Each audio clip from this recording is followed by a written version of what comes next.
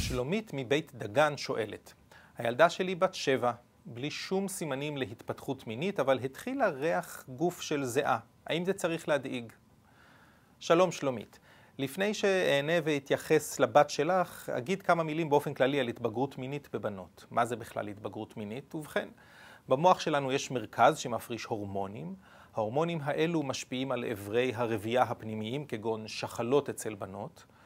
כל המערכת הזאת רדומה בשנות חייהם הראשונות של הילדים, אבל בשלב מסוים המערכת מתחילה להתעורר, ואז מתחילים להיות מורגשים השינויים. יש שינויים ברורים, כגון הופעת סימני התפתחות מינית, ויש גם האצת גדילה, הופעת פצעי בגרות ועוד. באופן תקין, סימני התפתחות מינית אצל בנות מופיעים לרוב סביב גיל 10 עד 11 שנים. בדרך כלל הסימן הראשון הוא התחלת הנצת שדיים. לאחר בערך 6 עד 12 חודשים מתחיל להופיע גם שיער ערווה. מחזור יופיע לרוב שנתיים וחצי אחרי הסימנים הללו, כלומר בערך בגיל 12 וחצי שנים. לגבי ריח זיעה, גם הוא מושפע ממגוון הורמונים. לרוב הוא מורגש יחד עם הופעת שיער הערווה, אבל הוא גם יכול להופיע סביב גיל 6-7 שנים. כלומר, ריח הזיעה שיש לבת שלך, שהיא בת 7 שנים, הוא בגבול הנורמה. אולי קצת בקצה של הנורמה, אבל בהחלט בגדר הנורמה. יחד עם זאת, בבנות צריך לחשוד בהתבגרות מינית מוקדמת אם יש סימני מין לפני גיל 8 שנים, ולכן מן הראוי שתיפגשו עם רופא הילדים שלכם, והוא בטח יפנה אתכם להערכה אצל אנדוקרינולוג ילדים.